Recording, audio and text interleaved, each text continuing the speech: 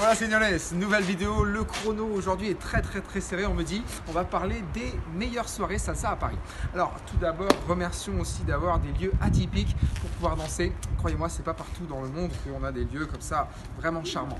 Alors, je vais essayer d'être assez rapide. Le lundi, vous savez, il n'y a pas grand chose en salsa portoricaine pour danser. On va parler tout de suite du mardi où vous avez une soirée très très spéciale qui s'appelle L'Agua sur la péniche Concorde Atlantique organisée par Monsieur Léon Rose, un grand nom de la salsa. Donc dans cette soirée, ce qui est vraiment cool, c'est que déjà vous dansez sur une péniche. Il y a plusieurs salles, plusieurs ambiances. Il y a la salsa, il y a aussi une salle bachata.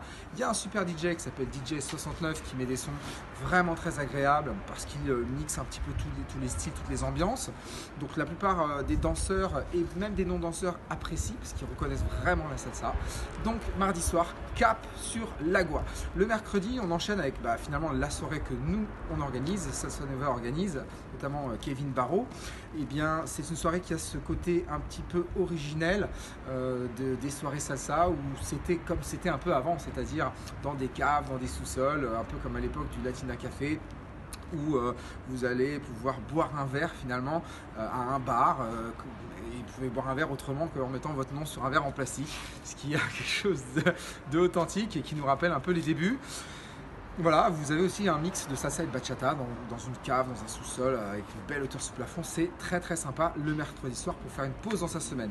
Le jeudi, même combat, il n'y a pas vraiment de soirée, c'est comme le lundi. Le vendredi, la soirée Sal Sounds 17, mesdames et messieurs, rien que pour la peine, je vous fais un petit tour. C'est une soirée authentique parce que le DJ est un passionné, il s'appelle DJ Mulato il a cette particularité, c'est de mettre des sons, des, musiques grâce à, des vinyles.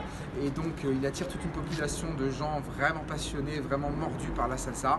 Il se casse la tête pour sortir des sons, euh, pour faire découvrir des sons que tout le monde ne connaît pas. C'est vraiment une soirée à pas manquer pour les aficionados de la salsa. C'est une référence. Le samedi, vous avez également la soirée Salsa Club par son acolyte DJ Sergio, un excellent DJ, une soirée référence. Je crois que c'est celle qui le plus de monde, tant la salle est grande et tant la, notoriété, DJ, la notoriété du DJ s'est imposée aujourd'hui.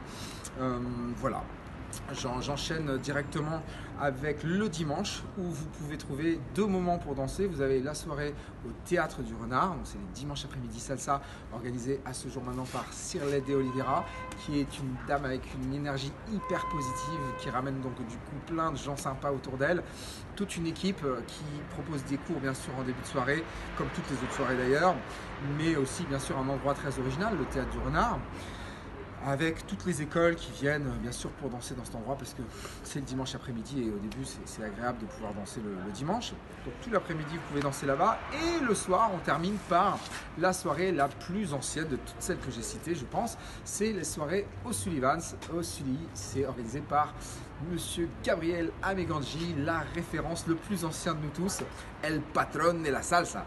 Euh, voilà, c'est dans un lieu euh, près, juste à côté du Moulin Rouge. Vous pouvez trouver tous les bons danseurs, tous les gens qui veulent découvrir. Euh, c'est une soirée qui brasse beaucoup de shows. Aujourd'hui, on peut encore présenter ces shows là-bas. On a des cours avant soirée. C'est une soirée géniale.